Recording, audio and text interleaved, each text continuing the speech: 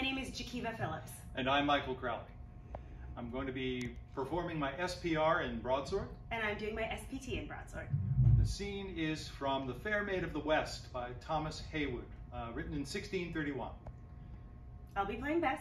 And I'll be playing Roughman.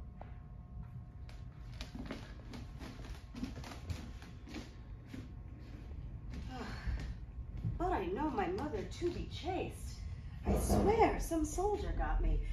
Methinks myself a manly spirit in this man's habit. Enough, he doth approach. How often do brave words bear out a man? If he can make but a noise, he's feared. to talk a phrase, although he ne'er had heart to face a man of the field, that's a brave fellow.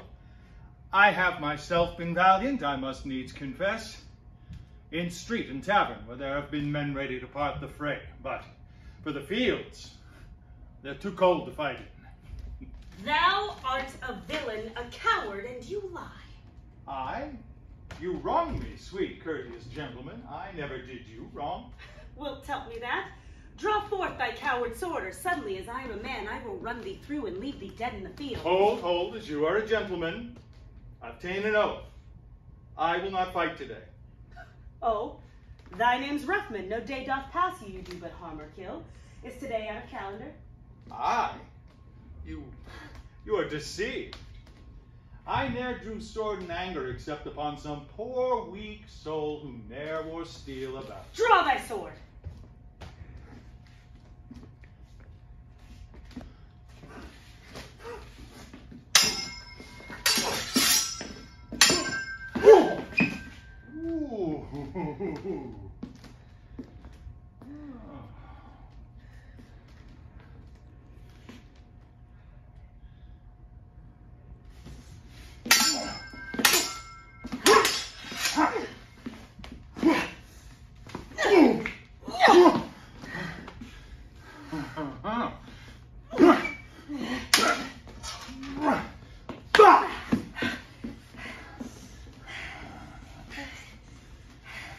A coward indeed.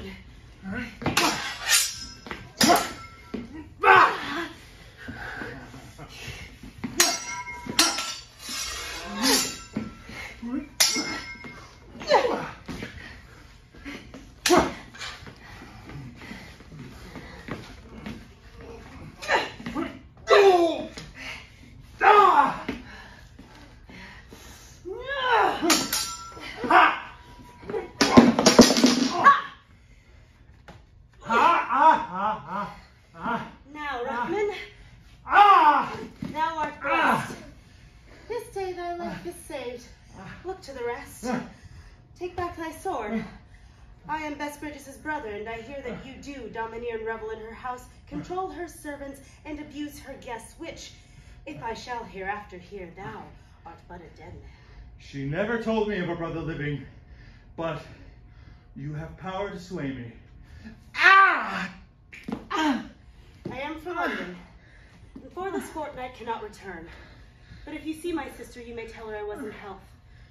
Pray thee, treat her well, for upon my return I will ask for thy acquaintance. Farewell. Farewell, good sir. Farewell. Good voyage. Ah. Yeah.